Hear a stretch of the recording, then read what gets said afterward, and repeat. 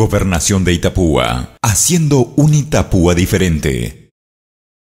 La segunda oportunidad que tenemos de hacer el modelo Naciones Unidas, ya el año pasado hicimos uno, pero fue más cerrado entre la universidad y ahora eh, nos ampliamos un poco más a otras universidades y también a, eh, estudiantes del último ciclo de los colegios. ¿Quiénes están participando con universidades? Eh, están universidades de la UTI, también están por venir gente de Asunción, el Nacional de Asunción y colegios como del Juan 23 y del Centro Regional.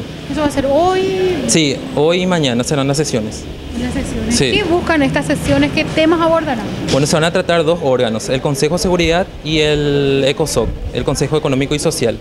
En el Consejo de Seguridad se busca eh, tratar, se va a tratar el tema de conflicto en Siria, en el que se va a dar una posible solución a ese conflicto. Y en el ECOSOC se van a tratar temas como la participación de la mujer en el desarrollo económico y social y el desempleo juvenil y la migración juvenil. ¿Reportan temas locales o temas eh, internacionales? Temas internacionales que afectan a nivel internacional.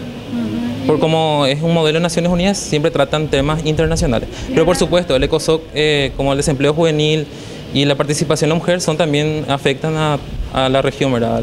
como un tema local.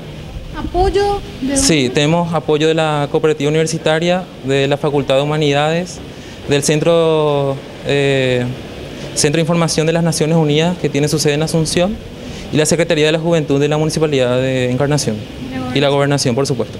Realmente es un espacio importante y más la oportunidad que tienen los jóvenes de pasar por esta experiencia, ¿verdad? Es el segundo año consecutivo que, que estamos viendo cómo trabajan y la formación que le da a los jóvenes, que son líderes que próximamente estarían ocupando cargos también. Entonces esa simulación le ayuda a mejorar.